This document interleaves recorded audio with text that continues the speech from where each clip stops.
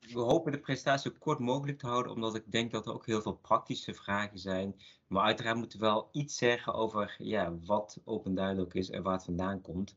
Uh, het is in de jaren 80 ontstaan, uh, vanuit uh, Finland, begin jaren 80, echt vanuit een systeemtherapeutische model en ook vanuit de, heel erg van de need adapted, heel erg gericht op de zorgbehoeften waarbij uh, ze heel erg de nadruk le legden op het betrekken van familie en, na en naasten.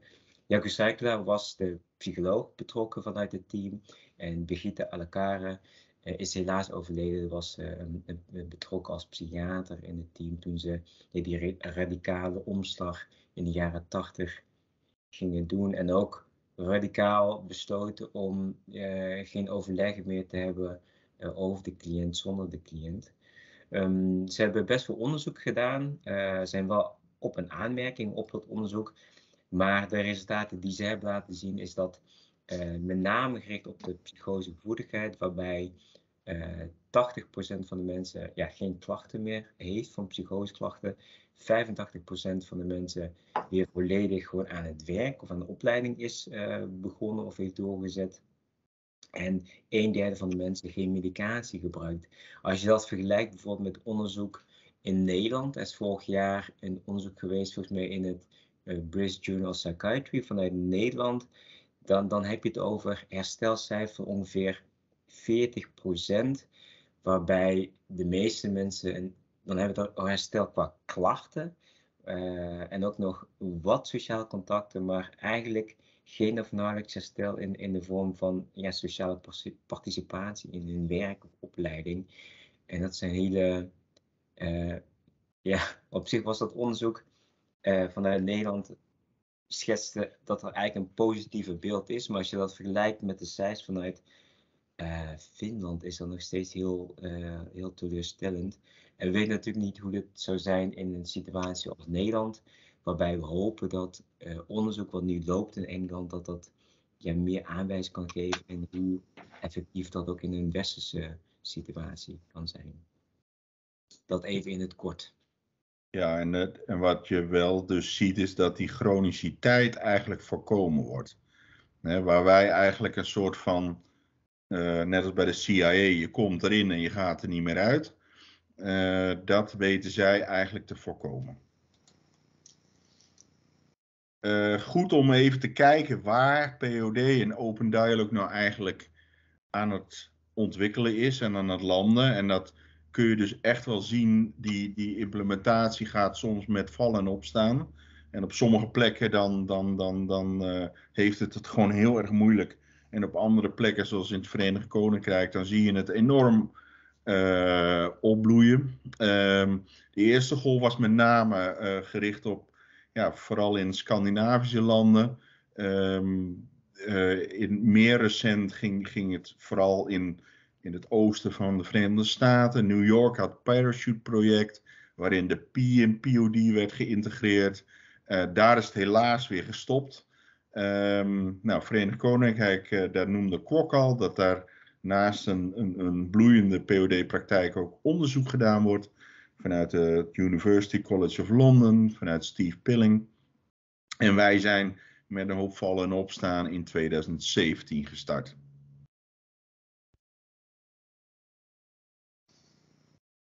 Um, als je ja, open dialoog in een notendop wil samenvatten, dan, gaat het om zeven kernprincipes. En de eerste vijf zijn uh, organisatorische, inhoudelijke uh, principes die. Um, ja, ik ben bekend in, werken in een crisisdienst en ook in een vakteam setting. Dat zijn op zich geen hele vreemde uh, principes, waarbij je ja, binnen 24 uur toch wel wil reageren op een, een zorg of een crisisvraag.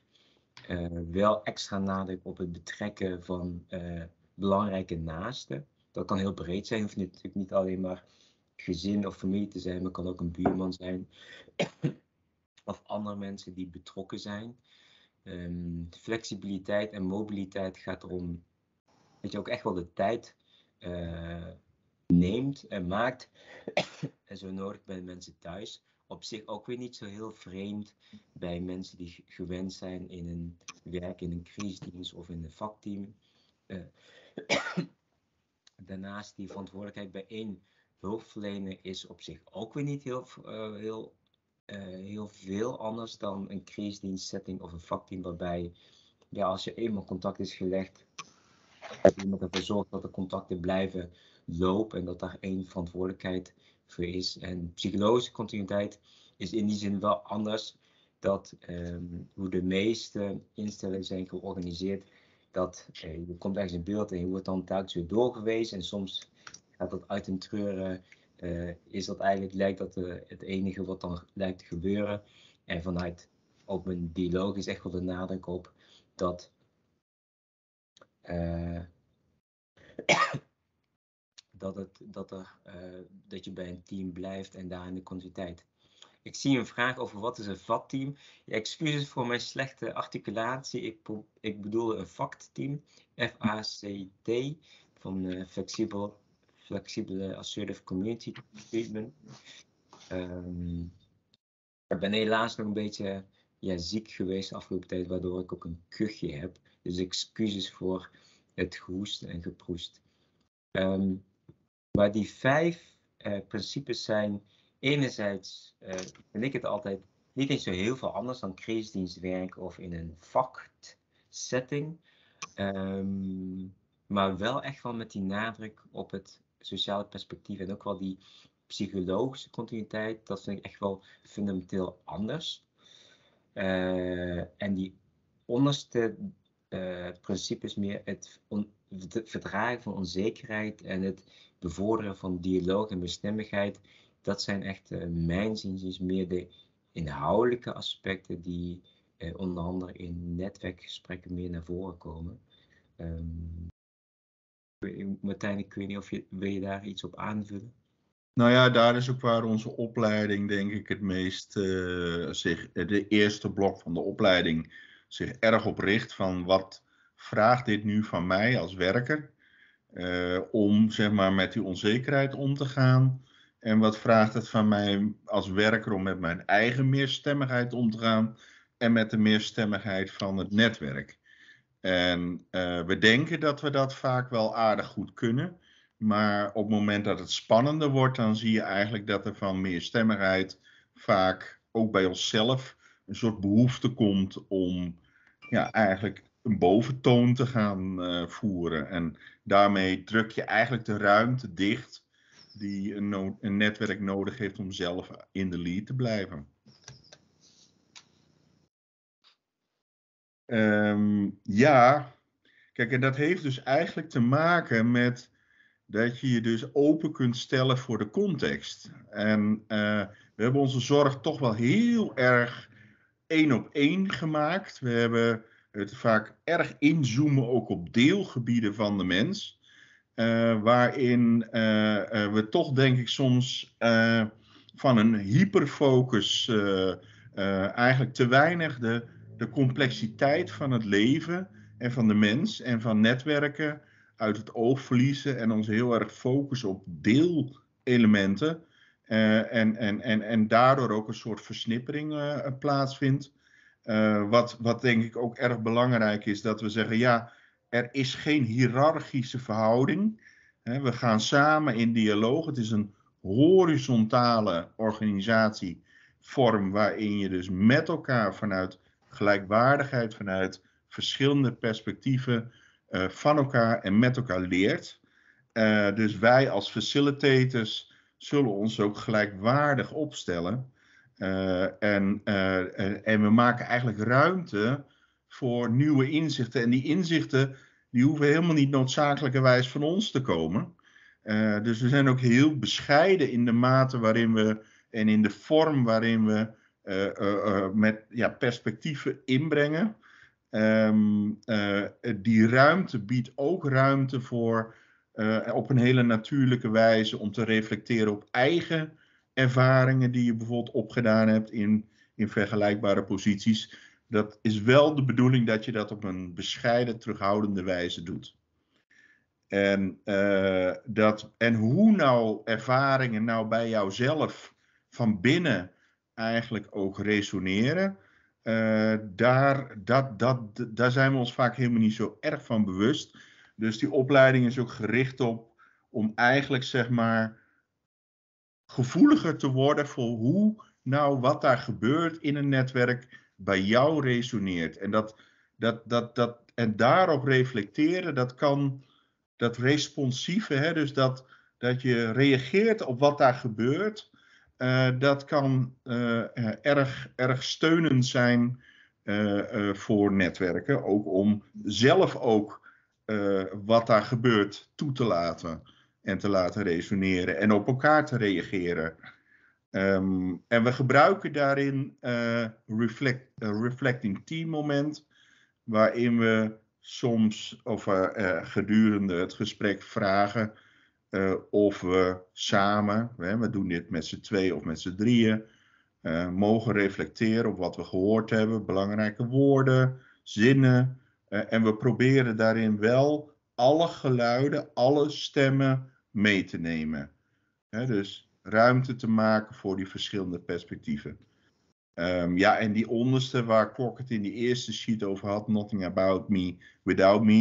Ik zeg zelf altijd nothing about us without us. Hè, dus niet zonder het netwerk, uh, waar ja, eigenlijk uh, in, die, in die openheid geen achteraf uh, overleggen. en als je iets wil vastleggen, dan overleg je dat met het netwerk. Wat zullen wij vastleggen? En dat zijn eigenlijk vormen, werk, vaardigheden die we ja, die berusten op, op, op een aantal waardes. Uh, de openheid, die soms heel spannend is. Hè, want wat roept het bij jou op? Wat roept het bij elkaar op? Dat is best spannend. Dat vinden we allemaal best ingewikkeld. Zeker als daar pijn en verdriet en worsteling zijn. Uh, maar ook een soort onvoorwaardelijke warmte.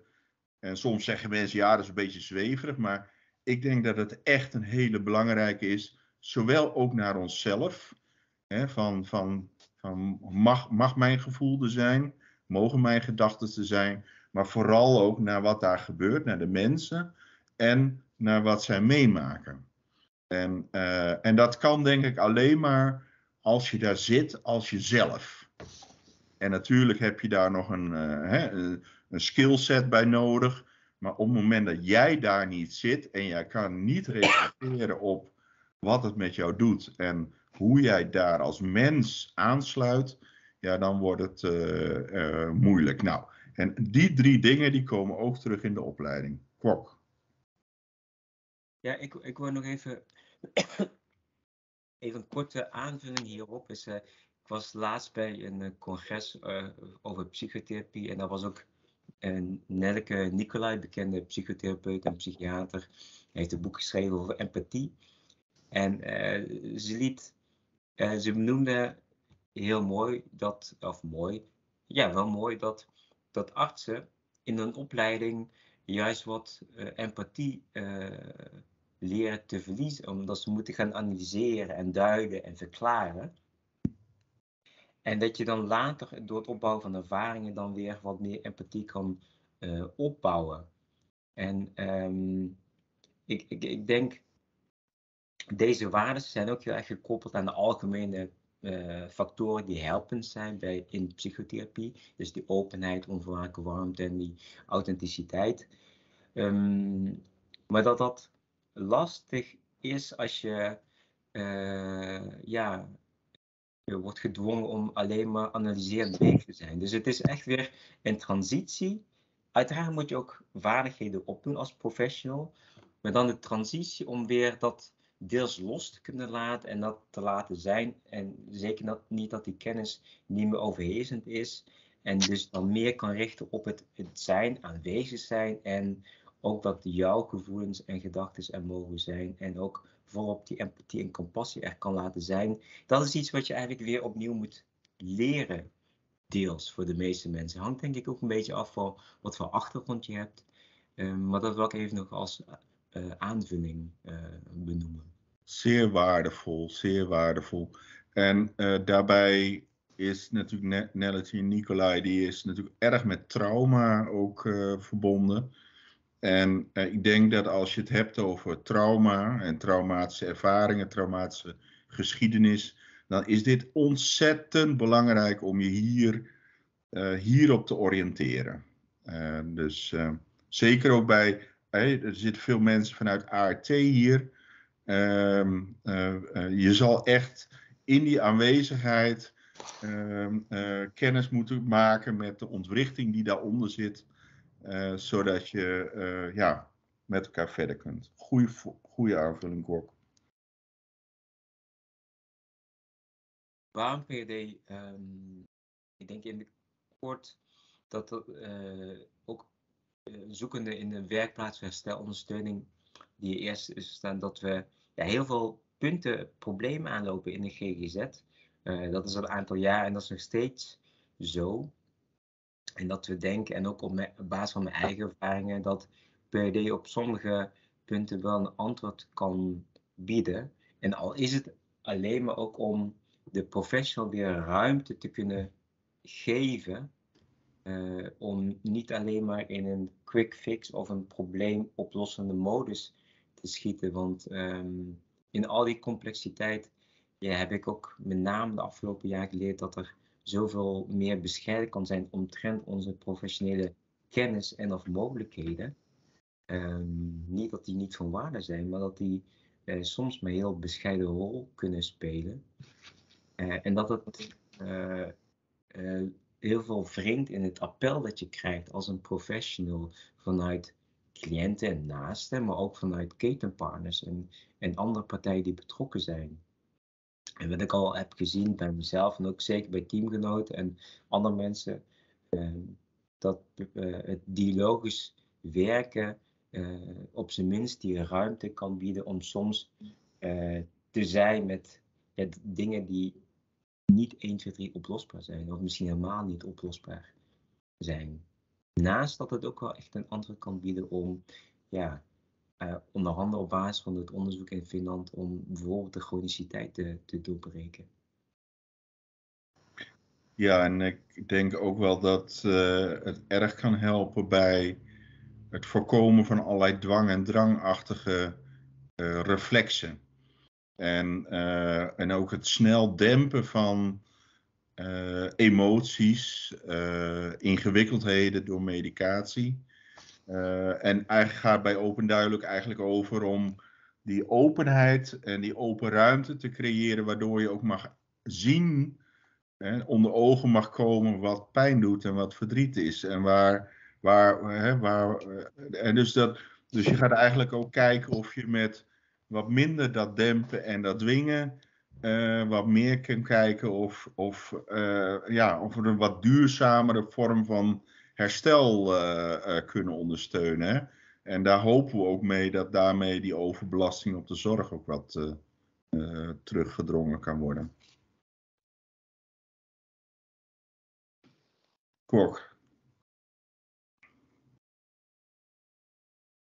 Dus een notendop over ja, wat, wat open dialoog is en ook hoe je dat kunt vormgeven.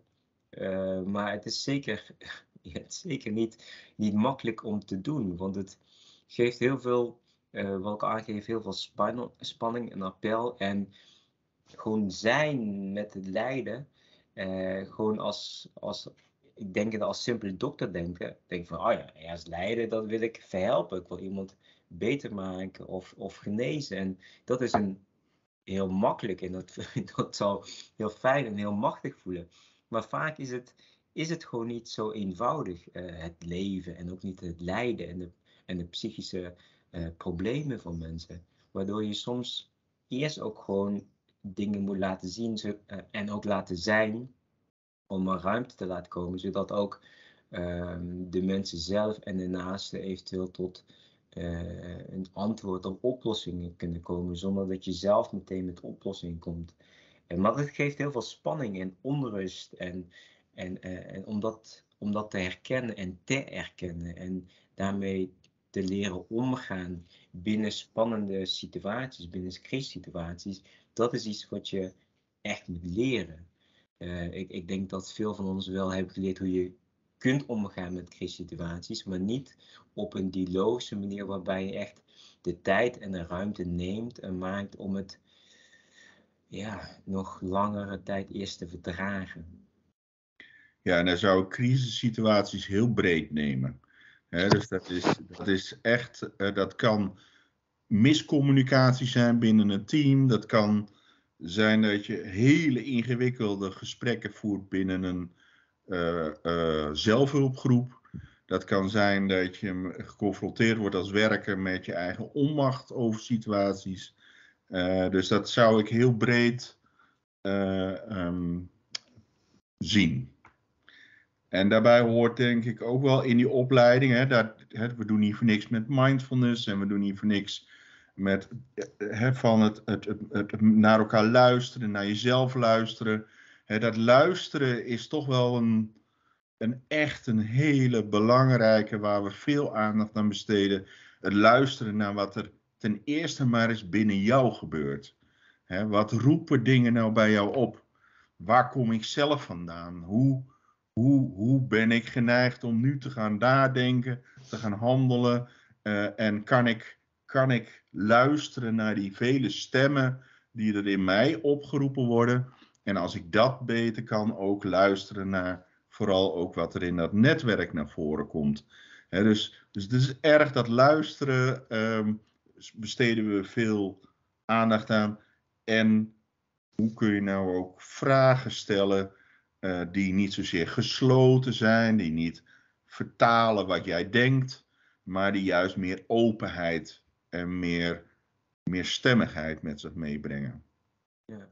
En dus ook vaardigheden, hoe je iedereen kunt betrekken, ook mensen ja. die stil zijn in het netwerk. Dus, en hoe je die op een veilige uh, manier uh, toch kunt laten betrekken of de ruimte kunt ge geven om later aan te haken. Um, en ik, ik, ik denk uh, ook um, in het luisteren en doorvragen. Um, dat in het stramien van als ik denk, denkde als psychiater dat ik voor je was gericht op hele gesloten vragen om het snel te begrijpen. Eh, maar eigenlijk is het niet per se begrijpen, maar eigenlijk het, het duiden of kunnen afvinken. En ik denk um, vanuit het dialogisch werk wil je eerst die ruimte geven dat het zo open mogelijk blijft. En bij zoveel mogelijk bij de, de woorden van de mensen om wie het gaat, zonder dat je dat zelf meteen invult of kleurt.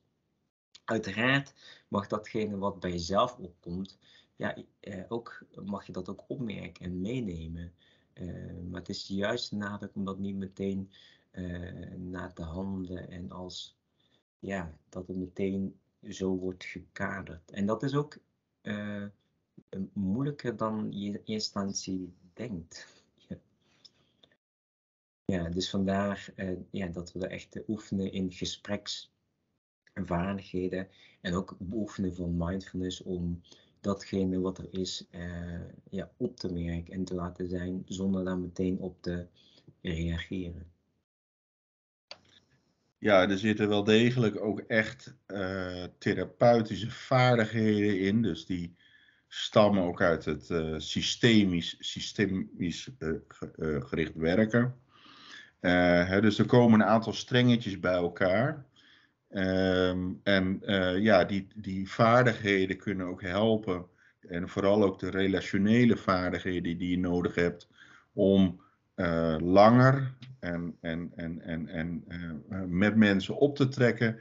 En ook in die verdieping terecht te komen die, die je gaandeweg met elkaar gaat vinden. waarin je dat dus op een, nog steeds op een terughoudende en bescheiden wijze doet. Um, ja, hoe we het nu hebben vormgegeven, hebben we een, een PRD-basistraining van twee keer vier aangesloten, aaneengesloten dagen. Uh, waarbij het gaat om de theorieën, geschiedenis, uh, beoefenen van mindfulness, uh, omtrent wat heel helpend is omtrent op te merken met wat er van binnen allemaal bij gebeurt.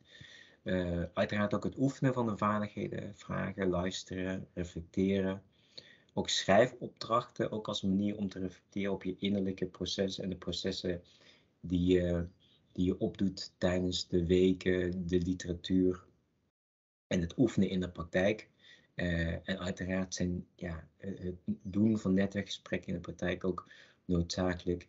Overigens, netwerkgesprekken ben je altijd minimaal met twee mensen aanwezig. Ja, dat is erg belangrijk. In de praktijk zien we ook dat, dat, en dat is ook wat we zelf bij onszelf ervaren, het faciliteren van netwerkgesprekken is verreweg het meeste wat je leert. Als je de goede ondergrond eronder hebt liggen.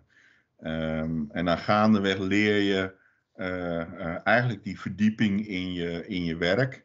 Uh, wat we wel zien is dat er vaak ook allerlei implementatievraagstukken meekomen. Wil jij je werk goed kunnen doen?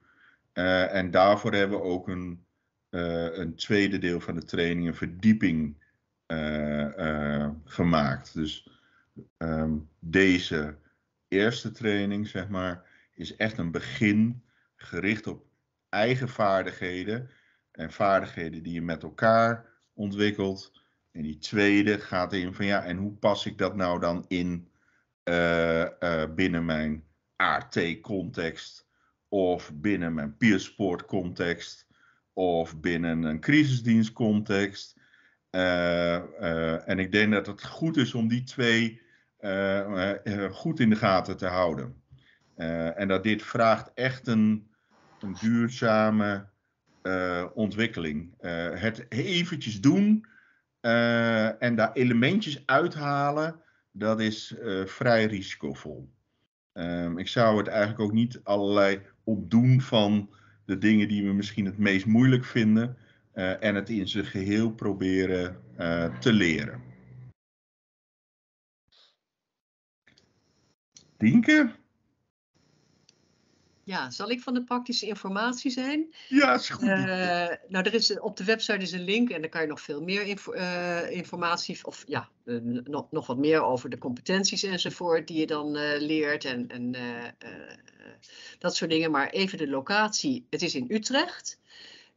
nou, Martijn en Kwok zijn de, de trainers data, de eerste week is in juni van 14 tot en met 17, tweede in september, zodat je dus tussendoor tijd hebt voor wat van die schrijfopdrachten en eens uh, uitproberen van die eerste netwerkgesprekken.